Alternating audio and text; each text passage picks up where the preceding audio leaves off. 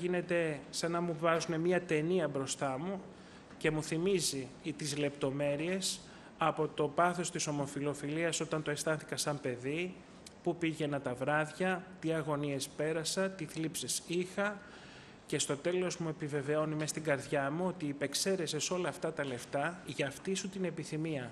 Η αλήθεια ήταν αυτή, αδερφή. Εκεί με πήραν τα κλάματα, σήκωσα τα μάτια μου στον ουρανό και πραγματικά βγήκε μια δέηση μέσα από την καρδιά μου, κλαίγοντας όμως με όλη μου την καρδιά, ότι αν δεν ευλογείς να είναι δύο άντρες μεταξύ τους, νέκρωσε αυτό που είναι μέσα μου. Δεν ξέρω πώς βγήκαν αυτά τα λόγια, αλλά και πάλι δεν θα σταματώ να τον δοξάζω και να τον ευγνωμονώ για εκείνη την ώρα πραγματικά που μέσα από την καρδιά μου με τα δακρύων φώναξα προς τον Θεό. Λίγες μέρες αργότερα ξανά πάλι είπα εάν υπάρχει Θεός και με ακούει δεν ξέρω τι κάνω. Έτσι αδερφοί, μετά από λίγες μέρες χτυπάει το τηλέφωνο στο σπίτι μου και είναι η αδερφή μου η οποία μου λέει Μπάμπη μου λέει υπάρχει μια εκκλησία που ο Θεός είναι ζωντανός και μιλάει με στους ανθρώπους. Αδερφή μου με άγγιξε μέσα στην καρδιά μου ακαριέα. Ξαφνικά μου αποκαλύφθηκε ότι ο Θεός είναι ζωντανός, ότι είναι προσιτός, ότι όπως έχει δώσει αυτιά και ομιλία μπορούμε να πάμε να τον πλησιάσουμε και να είναι δίπλα μας και να μας μιλήσει. Μέσα από την καρδιά μου ξεπίδησε εκείνη τη στιγμή η αδερφή μου με πήρε συμβουλευτικά καθώς ήμουν πρώτος της οικογένειας και αμέσως της λέω πήγαινε, να πήγαινε στην εκκλησία να δεις, είσαι 28 χρονών και θα δεις αν κάποιος θέλει να σε προσελητήσει και αφού δεις πάρε μετά την απόφασή σου.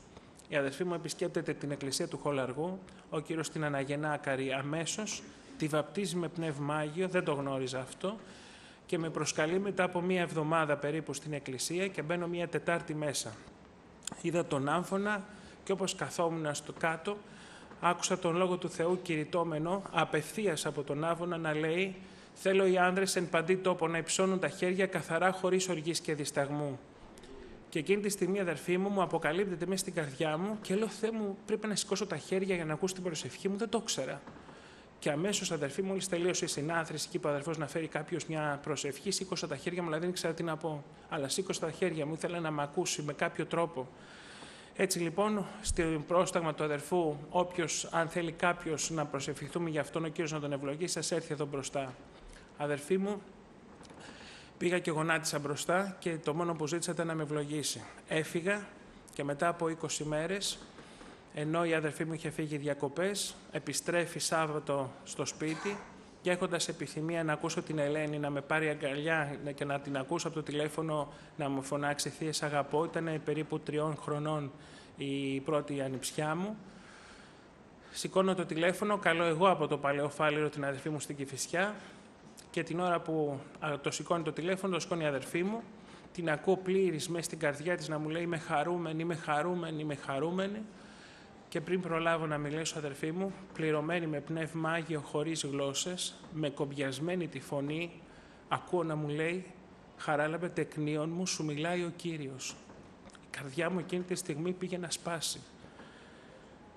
Τα έχασα, λέω πώς είναι δυνατόν, δεν προλάβεις να μιλήσω, τόσα, πολλά, πολλά ερωτήματα καρία στο μυαλό μου. Λέω, Βιβί, δεν σου μιλάει η αδερφή σου, σου μιλάει ο Κύριος γνωρίζω ότι καπνίζεις όχι μόνο τα σύμβατα τσιγάρα, αλλά και κάποια άλλα. Εγώ θα σε ελευθερώσω. Στη δεύτερη φορά που είπα Βιβί, λέω, μου λέει μάλιστα πιο μπροστά, ξέρω ότι πήρες τηλέφωνο γιατί επιθυμείς να δεις την ανιψιά σου. Και μου αποκάλυψε το κίνητρο που εγώ είχα στην καρδιά μου και το άκουγα από το στόμα της αδερφής μου. Μόνο ο Κύριος το ήξερε αυτό. Εκεί με πήραν τα κλάματα και είπα, σε παρακαλώ πάρε με κοντά σου, φοβάμαι. Κλαίγοντας όμως και μου λέει μη φοβάσαι, εγώ είμαι μαζί σου, έλα κοντά στα αδέρφια σου να προσευχηθείτε που ευαρεστούμε. Γύρισα στο σπίτι αδερφή από εκείνη τη στιγμή, κάτι ένα, μέσα στην καρδιά μου, δεν μπορώ να ξεχάσω από εκείνη την ώρα αυτό που έγινε μέσα μου και από εκείνη τη στιγμή αδερφή πήγε γύρισα στο σπίτι, ετοιμαζόταν ο αδερφός ο Βαγγέλης, ο άντρας αδερφής μου, να βαφτιστεί την επόμενη μέρα. Τους είπα την αλήθεια, μια πολύ δύσκολη στιγμή βέβαια. Η αδερφή μου άρχισε να κλαίει. Το πνεύμα του Κυρίου δεν σταμάτα για να μας παρηγορεί και να μας ενισχύει. Τη Δευτέρα πάω στο γραφείο, πάω την Κυριακή πάμε στην Εκκλησία και τη Δευτέρα, πρώτη, δεύτερη μέρα μετά από αυτή τη στιγμή που ο Κύριος έτσι ενήργησε ξαφνικά, πηγαίνω στο γραφείο. Καθώς πάω 8-9 η ώρα το πρωί, την ώρα πάω να πιω καφέ, Είχα πέντε πακέτα τσιγάρα, πάω να καπνίσω, δεν μπορούσα να καπνίσω. Πήγα να καπνίσω, ο καπνός δεν κατέβαινε με τίποτα κάτω. Μία βρώμα μέσα, λέω ότι είναι απίστευτο, τι έχει συμβεί; Κάνω δεύτερο προσπάθεια, τρίτη προσπάθεια και μια φωνή που δεν την άκουγα, αλλά μου μιλούσε μέσα μου, μου είπε είσαι ελεύθερος.